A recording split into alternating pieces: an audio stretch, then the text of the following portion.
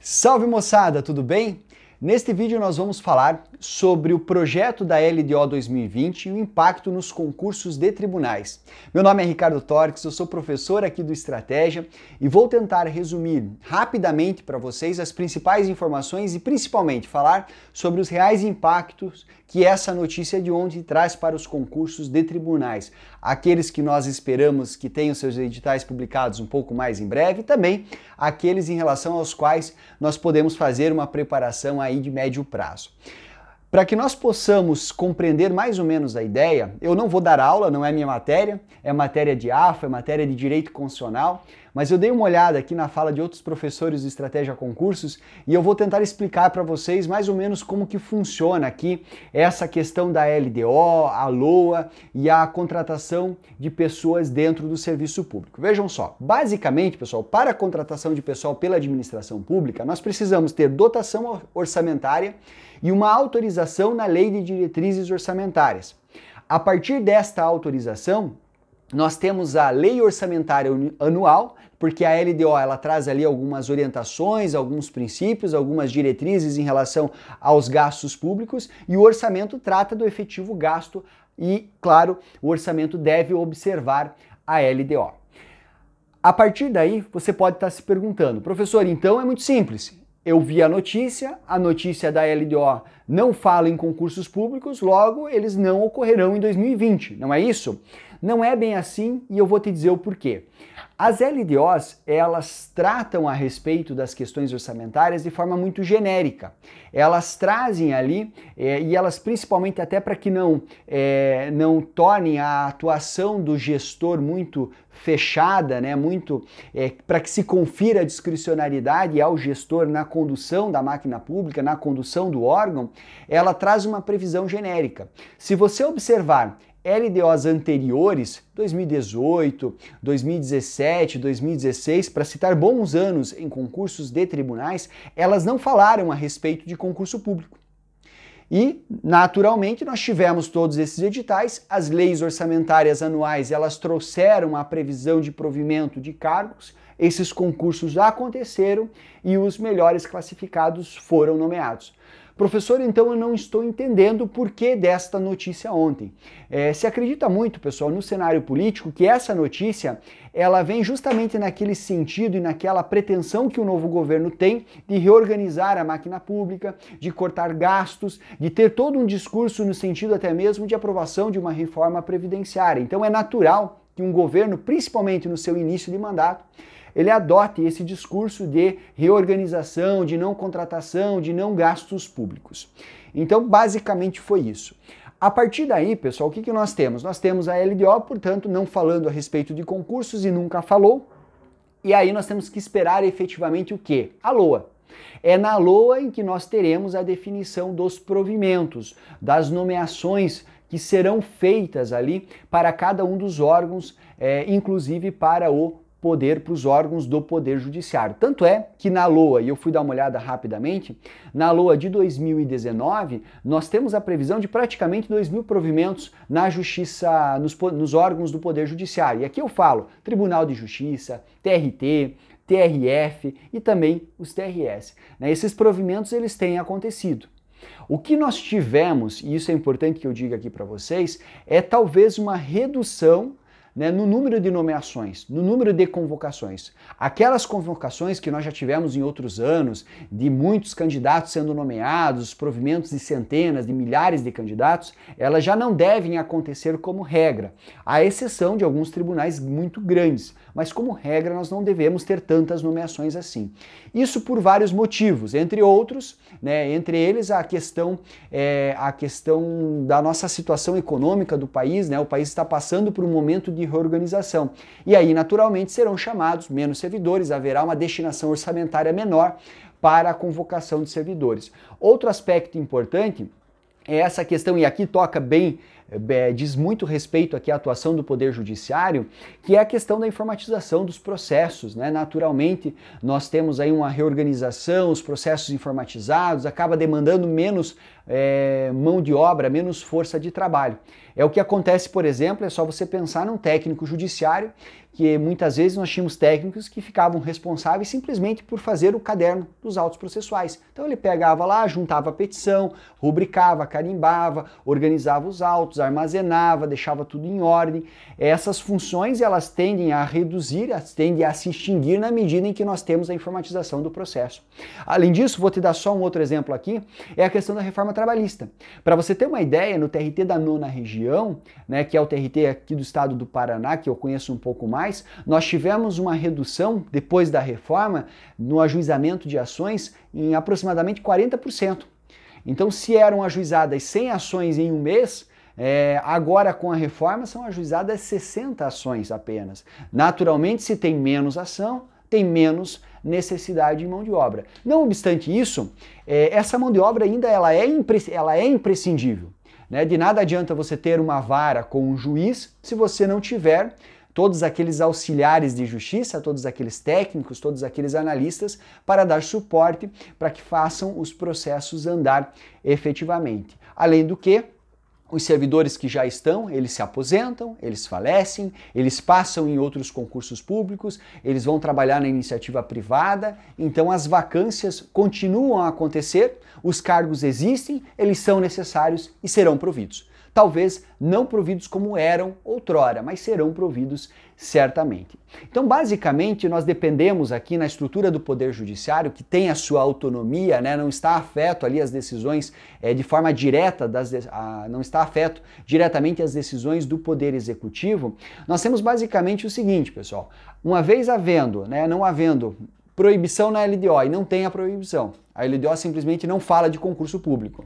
E havendo a previsão de provimentos na lei orçamentária anual, esses concursos eles podem e irão acontecer. E a nossa expectativa e o que nós temos de notícia até então é que isso não pode ser cortado 100%. Conforme eu te falei, essa força de trabalho ela é imprescindível para a máquina judiciária continuar em e ter o seu funcionamento. Professor, então nós temos que ter, aguardar a, L, a, a LOA de 2020? Acho que é por aí, principalmente para você que está pensando, você não está aprovado, não está aguardando nomeação, está pensando nos próximos concursos. E aproveitando para falar um pouquinho sobre esses próximos concursos, eles não são afetados por essa notícia que foi divulgada ontem, né? Só lembrando que eu estou fazendo a gravação agora no dia 16 de abril, não sei exatamente quando você está assistindo, mas a notícia é do dia de ontem, do dia dia 15. E eu vou passar rapidamente aqui é, falando, né, para falar com vocês sobre essas oportunidades, sobre esses concursos quentes. Vamos lá. Vou falar de todos os tribunais, pode ser? De todas as áreas de tribunais. Veja só, vamos começar com as áreas que estão menos quentes. Primeira delas, TRTs. TRTs nós não temos uma expectativa muito forte para o ano de 2019 e acredito eu que em 2020 nós podemos ter uma mudança de cenário. Ainda assim não deve ser um ano muito bom para TRTs. E por que disso, pessoal? Por um motivo muito simples. Nós tivemos aí uma enxurrada de tribunais regionais do trabalho em 2017 e em 2018.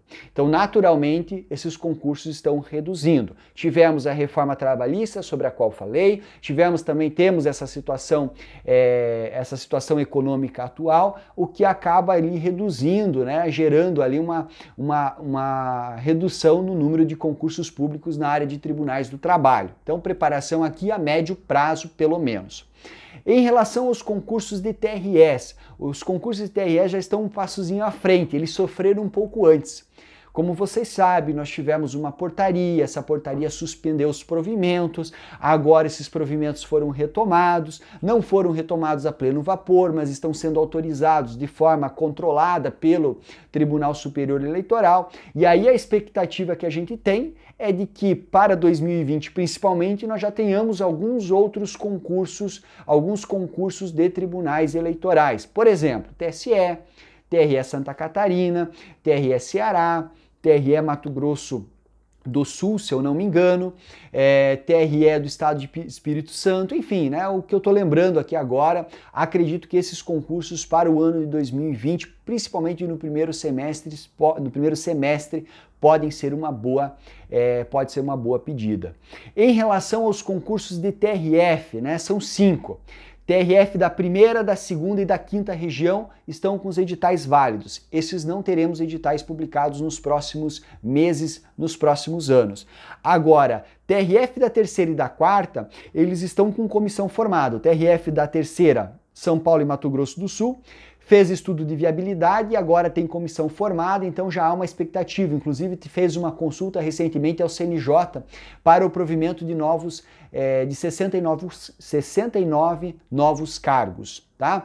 E o TRF da quarta, né? Santa Catarina, Rio Grande do Sul e Paraná. Mesma situação, houve formação de comissão.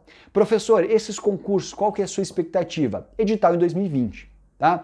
Pode ser que saia ainda no final de 2019? Pode, pouco provável, mas pode. Vai depender ali é, de como a comissão vai desenvolver os trabalhos. Mas primeiro, ela tem que fazer um estudo de viabilidade do concurso, ela tem que depois né, de verificada a viabilidade do concurso, ele precisa ser autorizado pelo tribunal. Depois de autorizado, daí parte para parte burocrática ali de contratação de banca, minuta de edital, até que saia realmente a publicação desse edital leva um certo tempo. Então, realmente acredito eu que o foco desses dois concursos é para 2020. Uma ótima oportunidade para você começar a estudar desde agora para esses tribunais. E claro, deixei para o final os concursos de tribunais que, eu, que nós temos aqui, não é que eu tenho expectativa, mas que as notícias são muito mais quentes, né? São os tribunais de justiça.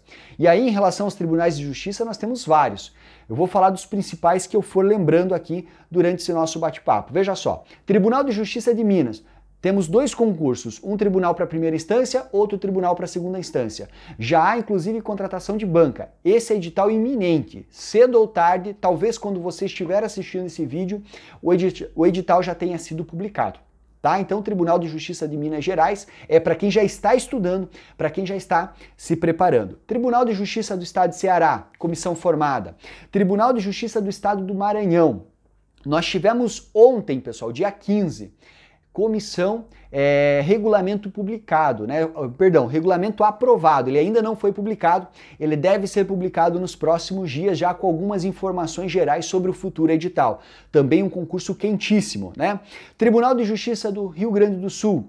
Também foram autorizados ali algumas vagas para oficial de justiça e para analistas na área, em algumas áreas específicas, serviço social, psicologia, se eu não me engano, agora também já estão autorizados. Esse concurso deve deve acontecer ainda esse ano, mais para o final do ano. Aí eu deixei anotado aqui para falar com vocês ainda sobre o TJ do Estado do Paraná. É uma situação um tanto peculiar, né? Até gravei um outro vídeo aqui no meu canal falando sobre o Tribunal de Justiça do Estado do Paraná, que teve a banca definida como CESP, mas é um concurso que já vem se arrastando de muito tempo, né? Ele abriu inscrições em 2017, daí o concurso foi suspenso, aí agora nós tivemos depois uma decisão do CNJ é, e o concurso foi retomado, só que a informação última do tribunal é que não haverá reabertura abertura de inscrições. Então, se você está inscrito, esse deve ser o seu foco a partir de agora, porque é uma ótima oportunidade. Tem 100 vagas no edital e provavelmente vão chamar mais gente. Um concurso ótimo, talvez para um dos melhores estados aí, o estado do Paraná, né? Eu brinco porque eu sou do estado do Paraná. E também vou falar um pouquinho sobre o Tribunal de Justiça do Rio de Janeiro e de São Paulo. Rio de Janeiro ele está um pouco mais frio mas ele já está o edital anterior é de 2014 está vencido, né? Ele está, nós tivemos aí vencido, é, está praticamente vencido porque as últimas nomeações estão ocorrendo e ocorreram agora recentemente. Só que o, o quantitativo de cargos vagos é muito grande lá no Tribunal de Justiça do Rio e o próprio presidente do Tribunal de Justiça do Rio de Janeiro já falou: olha, tão logo eu nomei os aprovados no concurso anterior, eu já quero realizar o um novo concurso porque já temos ali o esgotamento das listas e muitos, muitos cargos vagos, então há uma certa expectativa. De toda forma, eu acho que ele deve demorar um pouco mais. E o Tribunal de Justiça do Estado de São Paulo esse ele é muito bacana, por quê, pessoal? Porque ele é um tribunal gigantesco. Ele é o maior tribunal é, do mundo né, em volume de processos e por conta disso ele demanda de uma força de trabalho enorme. E além disso, o Tribunal de Justiça do Estado de São Paulo, além de ser um concurso muito organizado, né, muito claro ali em relação às suas regras, sempre a mesma banca, o que permite uma boa preparação, é, uma boa preparação prévia antes da publicação do edital, nós temos dois concursos, na verdade, um concurso para a capital e outro para o interior.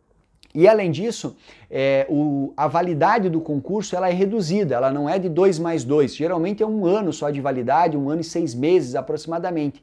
Então o que, que, o que, que acaba acontecendo na prática? A cada ano, ano e meio, nós temos um concurso de TJ do Estado de São Paulo, ora para o interior, ora para a capital. E aí o tribunal vai se revezando e esses concursos sempre acontecem. Como o edital da capital, o edital anterior do TJ Capital, ele vence agora é, no final de 2019 e como logo que vence já sai um novo concurso, você tem expectativa inclusive para o final deste ano por um novo, novo concurso. Eu acredito que será ali no primeiro trimestre, no primeiro semestre de 2020. Só que qual que é a grande vantagem do Tribunal de Justiça do Estado de São Paulo? São muitas nomeações.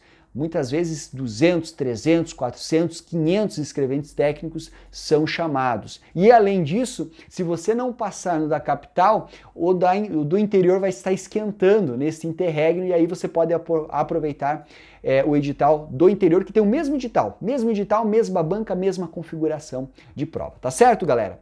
Então é isso, né? Vejam, essa notícia, né? Essas notícias elas são muito frequentes, elas sempre saem. Volta e meia elas são é, jogadas aí com intuito até sensacionalista, isso gera um impacto emocional em vocês que estão se preparando para concurso público.